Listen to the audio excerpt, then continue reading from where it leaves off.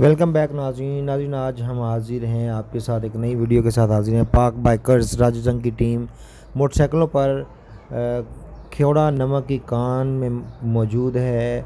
हम अल्हम्दुलिल्लाह यहाँ से राजू जंग से खेड़ा तक मोटरसाइकिल टूर हमने किया है।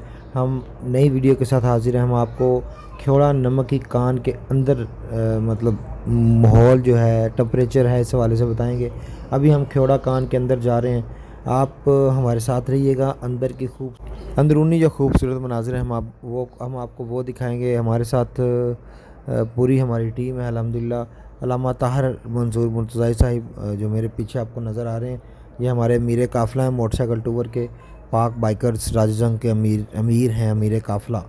तो इनके हमारे साथ साथ जो दूसरे दोस्त अहबाब आए हैं, उनमें मोहम्मद ताहर सईद साहब उनके अलावा मोहम्मद नदीम दर्जी साहिब हैं और उनके अलावा मोहम्मद इलियास इंसारी इनके साथ साथ अताउल मुसफ़ा हामद भाई। छः भाइयों का छः दोस्तों का ग्रुप आया था। मोटरसाइकिलों पे तीन बाइक्स पे हम आए हैं। तो अभी हम आपको कान के अंदर लेके जा रहे हैं खेड़ा नमक की कान। तो हमारे साथ रहिएगा इन आपको मुकम्मल अंदर के खूबसूरत मनाजर दिखाएँगे, बहुत ही प्यारे मनाजर आपको नज़र आएँगे। ये आप देख रहे हैं, ये चौक आ जाता है, यहाँ पर दो रास्ते बन जाते हैं। यहाँ पर उन्होंने निशान दिया हुआ है, इस इस साइड पे मस्जिद, मीनार पाकिस्तान, क्रिस्टल वैली और शीश महल वगैरह यहाँ पर मौजूद है।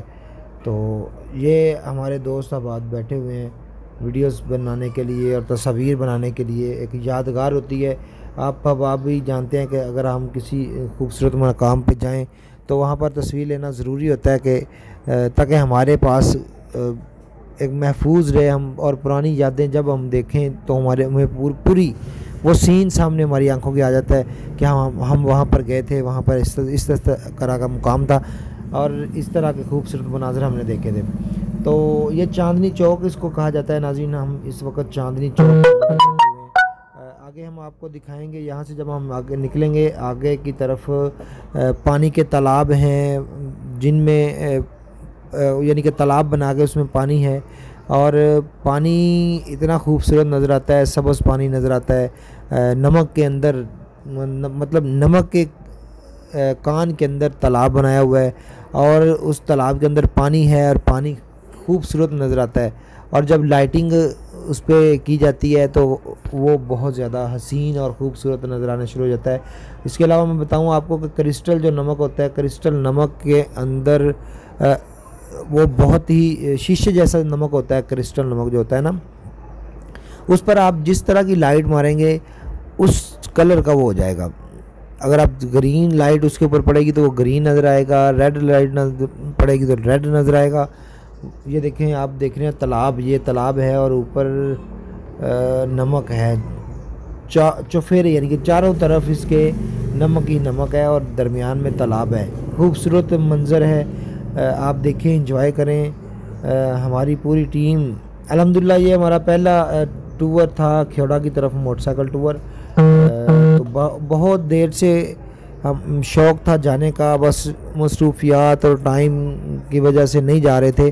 तो अभी हमने सोचा कि ये, हम इसका टूर करके आते हैं। ये हमारा एक दिन का टूर था। एक रात हमने सफ़र किया और सुबह के टाइम हम माइंड साल्ट में पहुँच गए, खेड़ा की कान में पहुँच गए और फिर हम रात तक हमने इधर, पूरा दिन इधर घूमे फिरे उसके बाद हमने रात का शाम को वापसी का सफ़र किया पिछले टाइम। तो हम वापस रात को एक दो बजे अपने घर पहुँच गए। यानी कि दो रात और एक दिन का ये हमारा टूर था। तो अभी हम आपको आगे लेके जा रहे हैं खेड़ा नमक की कान के अंदर। आप खूबसूरत मनाजर देख रहे हैं। तालाब बहुत ज़्यादा नाजिन उन्होंने बनाए हुए हैं। तालाब तालाब बहुत हसीन है, नज़र आते हैं। नाजिन हमने वहाँ पर दोस्तों से इंटरव्यू भी किया था। उसकी वीडियोस मैंने अपलोड की है हमारे चैनल पे, आप वो भी देख सकते हैं। तो मैं उनका लिंक डिस्क्रिप्शन में डाल दूँगा। आप वो सारा अगर रास्ते का सीन और आने और जाने का, वापसी तक का सीन अगर देखना चाहते हैं तो आपको मुकम्मल वीडियोस मोटरसाइकिल पे, अल्हम्दुलिल्लाह, ये बहुत ही इंजॉय वाला सफ़र होता है। आप कभी मोटरसाइकिल टूर करें, लेकिन आपके पास सेफ्टी का सामान मौजूद होना चाहिए। हर लिहाज से आप सेव हो, आपके पास हेलमेट ज़रूर हो, और इसके अलावा आपके पास जो सेफ्टी किट होती है वो लाजमी होनी चाहिए। तो अलहमदिल्ला हमारे जितने भाई भी थे, सबके पास सेफ्टी किट्स थी। आप देख रहे हैं, अभी ताहर भाई पीछे आपको नज़र आए थे, उनके पास उन्होंने पहनी हुई थी। ये देखें, मेरे पीछे नज़र आ रहे हैं आपको।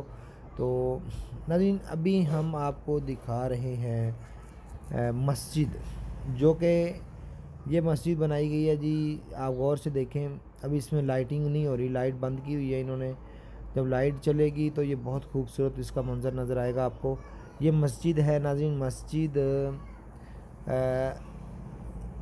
ये नमक की ईंटों की बनाई गई है। नमक की ईंटें तराश के उस नहज पे उनको बनाया गया है और ईंटों की शक्ल दे के नमक को और उस नमक की ईंट से मस्जिद बनाई गई है। जब इसमें लाइटिंग होती है, जब इसमें रोशनी होती है तो ये बहुत ही हसीन मंज़र नज़र आता है। आपको पीछे जो लाइटिंग नज़र आ रही है दूसरी साइड पे हम आपको आगे लेके जाएँगे। वहाँ पर मीनार पाकिस्तान का नक्शा बनाया हुआ है और बाकायदा मीनार पाकिस्तान बनाया हुआ है। तो उसमें भी लाइटिंग हो रही है और बहुत खूबसूरत हसीन मंज़र है, उसका भी हम आपको वो भी दिखाएँगे। इसके बाद उन्होंने शीश महल बनाया हुआ है, हम वो आपको वो भी दिखाएँगे।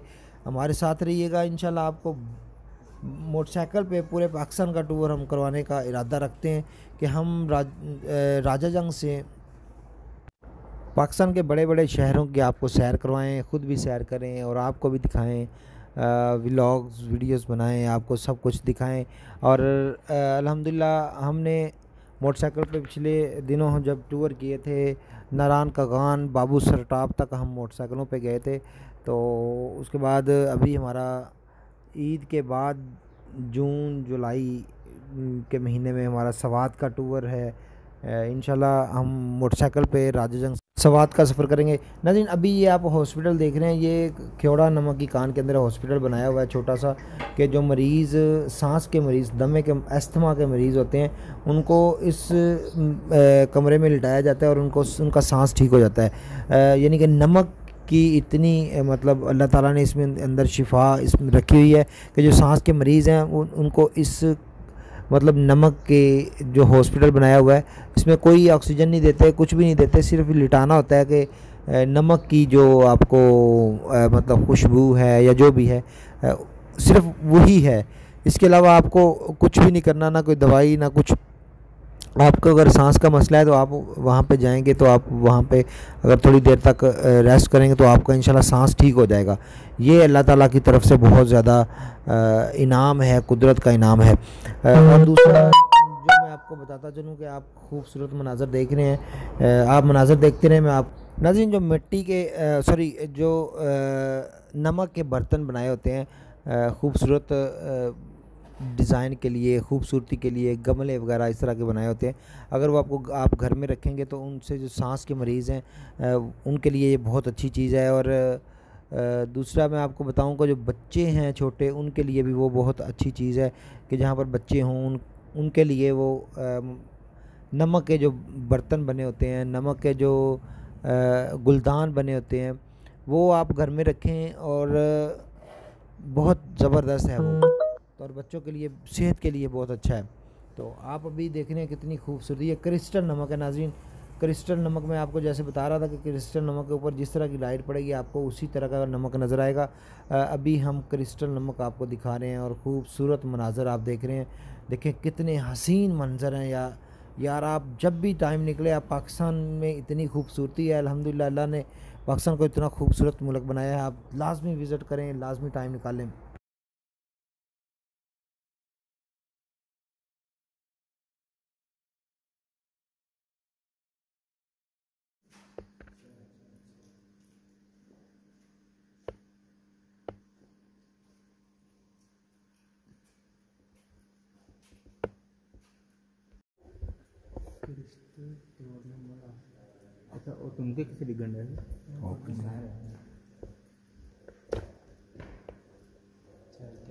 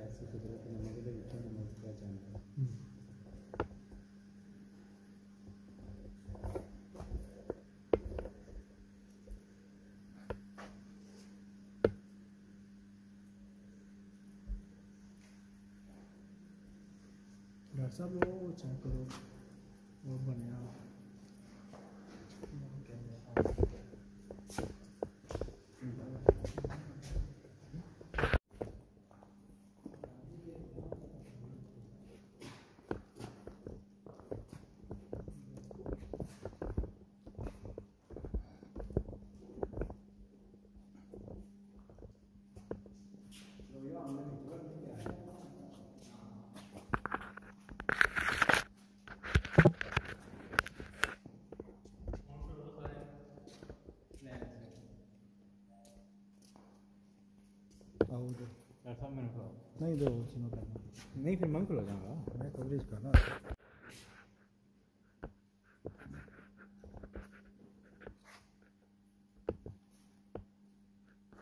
ताहर भैया अमल भैया आना है आज भाई ना कहना यार नदीम जग्गी होना है तो हो जाओ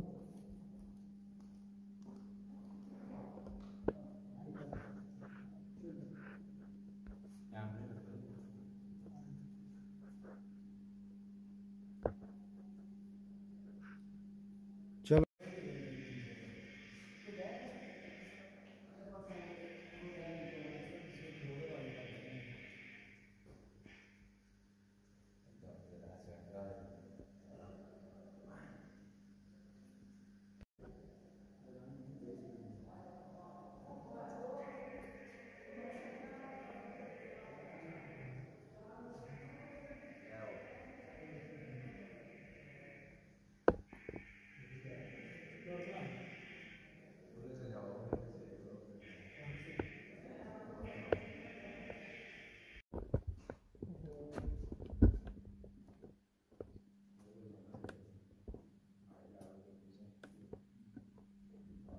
लगे आओ बस लगे आओ।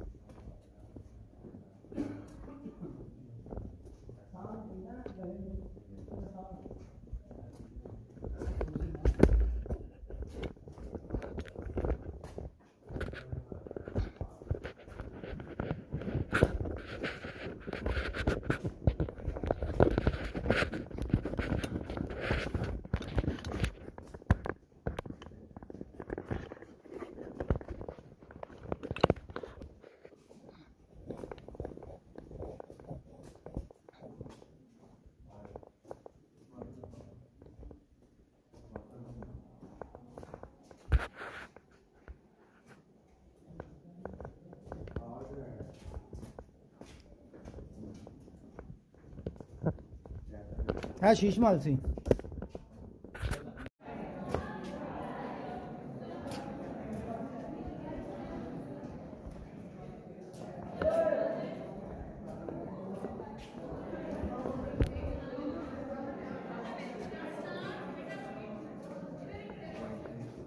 ले यार माइक दो साड़ी बनाओ ऐसा माइक दो नाज़रीन ये देखिए कुदरत के कितने हसीन नज़ारे हैं। आप देख रहे हैं, हम इस वक्त ख्योड़ा नमक की कान के अंदर मौजूद हैं और रोशनी और लाइटिंग की वजह से जो नमक है कितना खूबसूरत नज़र आ रहा है। और ये क्रिस्टल जो नमक है, जिस कलर की लाइट उस पर पड़ेगी, उसी कलर का वो नमक आपको नज़र आएगा। और ये तालाब बहुत ही खूबसूरत मनाजिर हैं। यहाँ पर शीश महल भी बनाया हुआ है इन्होंने। मीनार पाकिस्तान भी बनाया हुआ है। और नमक की मस्जिद भी बनाई हुई है। हम आपको सारे तारीख़ी मकाम की सैर करवा रहे हैं।